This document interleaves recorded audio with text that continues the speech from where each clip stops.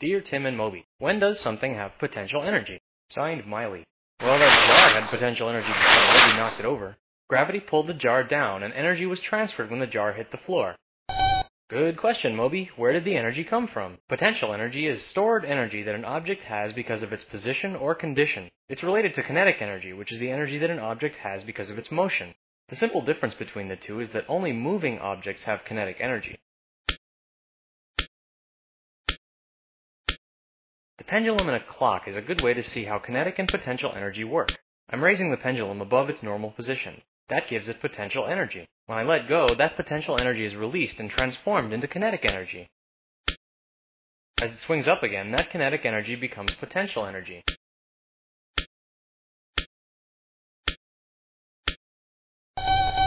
Let's look at it in another way. When Moby and I ride up a ski lift, our potential energy increases as we climb higher.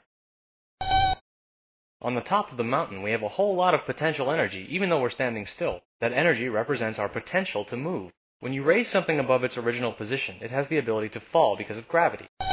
Right, what goes up must come down, or at least can come down.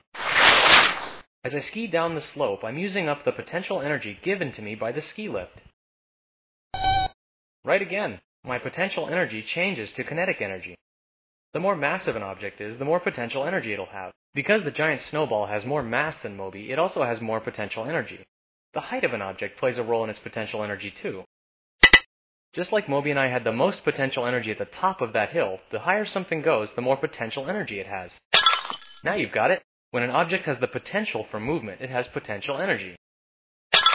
Potential energy is converted to kinetic energy as the object falls. Potential, kinetic. Tim, what in the world are you boys doing in there? Um, nothing, Dad.